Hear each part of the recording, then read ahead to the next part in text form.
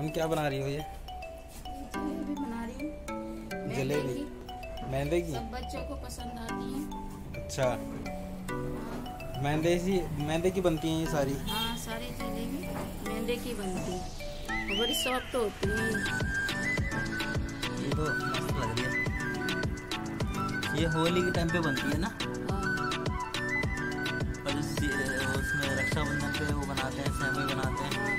घर की भी बनी हुई चीज़ों की बात अलग है।